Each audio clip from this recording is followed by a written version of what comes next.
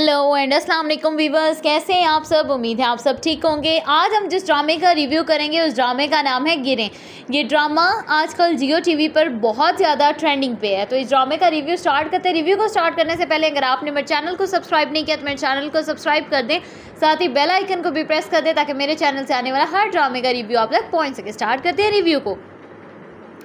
तो जैसा कि हम लोगों ने पिछले एक साथ में देखा था कि निमरा का जो बाप होता है, वो इन लोगों के घर में उसी पीर बाबा को लेके आते हैं जिनसे वो अपनी बेटी का इलाज करवाते हैं। अब वहाँ पर अब जो ये निमरा की सास है इसको शक हो जाता है कि कहीं ऐसा ना हो कि शाबुद्दीन साहब को जो है वो मेरा आ, मेरे जो मामला है उनकी भनक पड़ जाए कि मैं काला जादू करती हूँ। अब निमरा जो है वो जब इनको बुलाने जाती है कि आ जाएँ पीर साहब आ गए हैं राशिद को देखने तो वहाँ पर इसकी सास कहती है कि नहीं मैं अभी नहीं आ रही सुरैया बेगम वहाँ पर कहती हैं कि अभी तो नहीं आ रही अभी तो मैं थोड़ा दम दरूद कर रही हूँ थोड़ी देर के बाद आऊँगी निमरा कहती है, चले सही आ जाएँगी, वो वहाँ से चली जाती है। लेकिन बाद में जब निमरा की सास से ये पूछा जाता है कि आप कहाँ पे थी तो वो कहती है कि मुझे तो निमरा ने बुलाया ही नहीं। लेकिन ऐसी कहानी बहुत ही दफ़ा वो बना चुकी है, जिस पर अब थोड़ा थोड़ा राशिद को भी शक होता है कि माँ झूठ बोल रही हैं।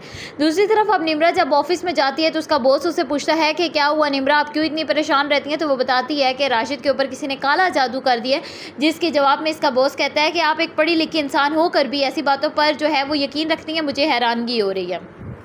दूसरी तरफ़, अब निमरा की सास को याद आता है कि उसने निमरा से खर्चा मांगा था कि घर चलाने के लिए, उसे राशन के लिए कुछ पैसे चाहिए, बिजली का बिल अदा करने के लिए, जो कि निमरा ने उसे मना कर दिया था।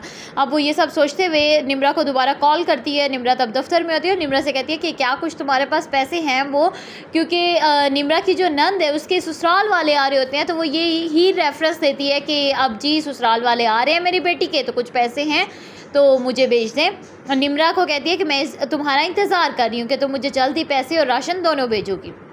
निमरा बेचारी ये सुनकर फ़ोन रख तो देती है, लेकिन उसके जहन में यही बातें चल रही होती है कि यार क्या ये एक तो ये जादू टोने करती रहती हैं और दूसरा ये सिर्फ़ पैसे मांगती रहती हैं। ये बेचारा राशिद जब निमरा की जो सास है, वो ऐसा करती है कि जब उसकी बेटी के ससुराल वाले आते हैं तो उन्हें कहती है कि आप चाय के साथ ये कुछ खाएँ, वो खाएँ तो उसकी बेटी के सास कहती है कि नहीं, हमें बहन जी कुछ नहीं खाना, क्योंकि यहाँ से जब हम कुछ खाते हैं तो हम पर जादू के असरात हो जाते हैं। आप तो जादू टोने करती हैं।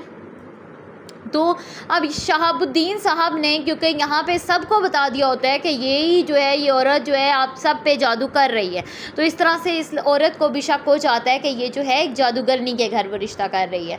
तो इस वजह से वो कुछ भी नहीं खाते। अब इसकी माँ को जो है, निमरा की सास को और कुछ नहीं सोचता है तो वो कहती है कि मेरा बेटा राशिद एक जवान जहान लड़का है, जिस पर किसी ने काला इल्म कर दिया। मैं तो खुद बहुत परेशान हूँ, लेकिन आप आगे वाली एक साथ में देखेंगे कि निमरा जो है, वो अपनी सास से थोड़ी बदतमीज़ी करे करेगी, जिसके जवाब में निमरा की सास उसे बिल्कुल पागल बना देगी। उसे इस तरह से बना देगी कि वो अपने बाप से बदतमीज़ी करना शुरू हो जाएगी और उसका बाप जो है वो दोबारा उसके दिल में निमरा के लिए नफ़रत पैदा कर, होना शुरू हो जाएगी। ये था इस ड्रामे का रिव्यू। अगर आपको रिव्यू अच्छा लगा तो मेरे वीडियो को लाइक कीजिएगा, कमेंट में एक सेक्शन कमेंट सेक्शन में एक छोटा सा कमेंट ड्रॉप कीजिएगा।